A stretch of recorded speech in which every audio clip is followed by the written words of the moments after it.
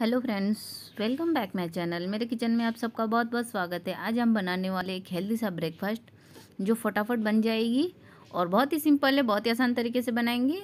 तो चलिए आज की रेसिपी शुरू करते हैं और आज की रेसिपी शुरू करने से मैं आपको याद दिला दूँ कि अभी तक आपने मेरे चैनल को सब्सक्राइब नहीं किया तो प्लीज़ आप मेरे चैनल को सब्सक्राइब करें और साथ में बेल आइकन भी दबा दें ताकि आने वाली मैं जो भी अब रेसिपी डालूँ या कुछ भी आपको अपडेट मिलती रहे तो प्लीज़ आप मेरे वीडियो को लाइक करें चैनल को सब्सक्राइब करें और मुझे कमेंट करके बताएँ कि आपको मेरी रेसिपी कैसी लगती है। तो चलिए स्टार्ट करते हैं। तो सबसे पहले एक बोल लेंगे और इसमें डालेंगे एक कप सूजी। मैंने यहाँ पे बारीक वाली सूजी ली है। अगर आपके पास मोटी वाली सूजी है तो आप उसे एक बार पीस लें और पीस लेंगे, एक बार मिक्सी में पीस लेंगे बारीक हो जाएगी। तो इसी के साथ हम इसमें डालेंगे दही। तो मैंने यहाँ पे आधा कप दही लिया, एक कप सूजी है तो मैंने आधा कप दही लिया है और दही काफ़ी गाढ़ी है। तो उस हिसाब से आप दही कम या ज़्यादा कर से, कर सकते हैं।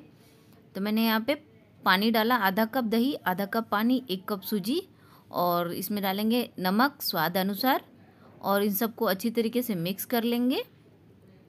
अच्छी तरीके से तो कुछ इस तरीके से हमें फेंट लेना है। दही सूजी और पानी को अच्छी तरीके से। देखिए, इसे मैंने अच्छी तरीके से मिक्स कर लिया है। और इसे अब ढककर हम रख देंगे फूलने के लिए। दस से पंद्रह मिनट के लिए। ये दस से पंद्रह मिनट में फूल के रेडी हो जाएगा। दही, सूजी तो हमें इसे ढक के रख देते हैं। देखिए, दस मिनट हो चुका है और ये सूजी काफ़ी थिक हो गया, गाढ़ा हो गया। अब इसमें हम पानी डालेंगे। हमें जैसे डोसा का बैटर बनाते उस तरीके से हमें घोल बना के तैयार करना है। ये काफ़ी गाढ़ा हो गया है। अब इसमें पानी डालेंगे। मैंने यहाँ पे आधा कप और पानी लिया है, इसमें डाला है। पानी डालने के बाद इसे अच्छी तरीके से फेंट लेंगे और ये हमारा कुछ इस तरीके से अभी भी गाढ़ा है। इसमें थोड़ा सा पानी और डालेंगे। आप पानी अपने ज़रूरत के अनुसार लेंगे। अब मैं इसमें ऐसे बता नहीं सकती कि मैंने इसमें कितना डाला है। तो मुझे जितना लगा अभी तक मैंने एक से डेढ़ कप पानी डाला है। अब इसमें डालेंगे बेकिंग सोडा। तो मैंने यहाँ पे एक छोटी चम्मच बेकिंग सोडा डाला है। इसे भी अच्छी तरीके से मिक्स करेंगे। याद रखिए, मैंने बेकिंग सोडा डाला है, बेकिंग पाउडर नहीं डाला है। और ये जब बनाना हो आपको, उसी टाइम डालें। तो चलिए, हमारा घोल बन के तैयार है। अब हम बना लेते हैं। कुछ इस तरीके से हमें, हमारा घोल होना चाहिए। तो ये हमारा घोल बन के तैयार है। तो चलिए हम इसे बना लेते हैं। तो पहले तवा को गरम करेंगे और इसके ऊपर थोड़ा सा तेल डालेंगे। और बैटर को थोड़ा इस तरीके से हम इसके ऊपर थोड़ा थोड़ा डाल के हल्के हाथों से इसे फैला देंगे, कुछ इस तरीके से।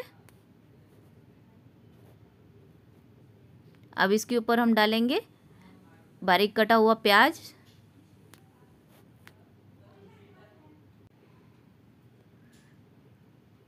इस तरीके से थोड़ा थोड़ा प्याज डालेंगे।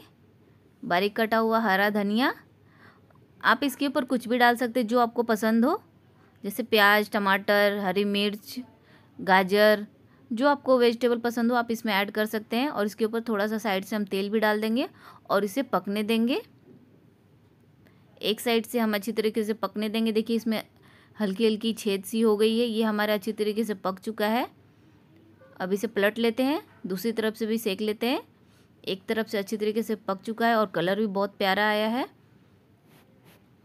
तो देखिए हमारा ये सूजी का उत्तपम बन के तैयार हो गया है। इसी तरीके से और बना लेते हैं। आप चाहे तो इस तरीके से आप तवे पे बना सकते हैं। अगर आप इस तरीके का पैन रखे हैं तो आप इसमें भी बना सकते हैं। इस तरीके से इसे भी गर्म कर ले, इसमें तेल डाल दें और इसमें थोड़ा बैटर डाल देंगे और उसे हाथों से फैला देंगे। इसमें थोड़े मोटे बनते हैं। जैसे बाज़ार वाले थोड़े मोटे आते हैं ना, उस तरीके के बनेंगे। अब इसमें भी साइड में हम तेल डाल देंगे और इसके ऊपर भी जो सब्ज़ी पसंद हो, वेजिटेबल पसंद हो, आप डाल सकते हैं। बच्चों के लिए बना रहे तो उस पर थोड़ा सा चीज़ डाल के दें तो बहुत अच्छा रहेगा, बच्चों को पसंद भी आएगा। इसके ऊपर थोड़ा सा मैं डाल रही हूँ, कटा हुआ, कद्दूकस किया हुआ चुकंदर। ये सब ऑप्शनल है, आप जो आपको पसंद हो आप ऐड कर सकते हैं। इसे भी एक तरफ़ से पकने देंगे और ये एक तरफ़ से पक चुका है, दूसरे तरफ़ से भी पका लेंगे हम।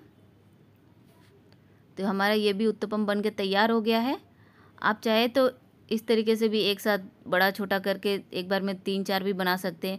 जिस तरीके से आपको पसंद हो, आप बनाइए। तो देखिए, उत्तपम सारे बन चुके हैं। तो इसी तरीके से मैं सारे उत्तपम बना लूँगी। और ये बहुत ही फटाफट बनने वाला इंस्टेंट नाश्ता है। आप कभी भी बस सूजी और दही को घोल के रखिए और जब खाने का मन हो, उसमें सोडा, नमक डाला और बनाया। तो देखिए, एकदम सॉफ्ट एकदम नरम, रुई की जैसा नरम उत्तपम, सूजी का उत्तपम बन के तैयार है। आप इसे चटनी के साथ खाइए या सांभर के साथ। मैंने इसे सर्व किया है चटनी के, नारियल की चटनी के साथ और सांभर के साथ। तो अभी ट्राई ज़रूर करें एक बार। वीडियो पसंद आए तो वीडियो को लाइक करें चैनल को सब्सक्राइब करें और बेल आइकन भी दबाएँ ताकि आने वाली रेसिपी का नोटिफिकेशन आपको मिलती रहे। मैं मिलती हूँ नई रेसिपी के साथ। तब तक लिए bye bye thank you for watching